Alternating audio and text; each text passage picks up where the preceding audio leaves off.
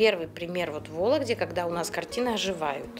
То есть это вот с помощью современных технологий так сделано, эм, что картины, в них часы э, значит, начали двигаться, работать, э, листья полетели, э, занавесочка начала от ветра раздуваться, кто-то куда-то пошел, кто-то куда-то побежал. То есть картина ожила, поэтому ее надо увидеть.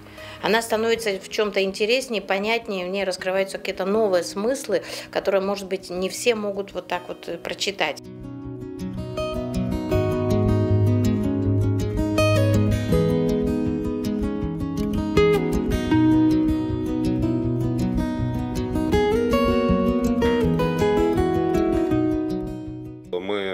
Отобрали работы, с которыми мы сможем э, работать, сделать что-то интересное. Э, получили цифровые версии этих картин. Э, далее, как в некоторых картинах разный подход, но в целом раскладывается картина на отдельные элементы, планы.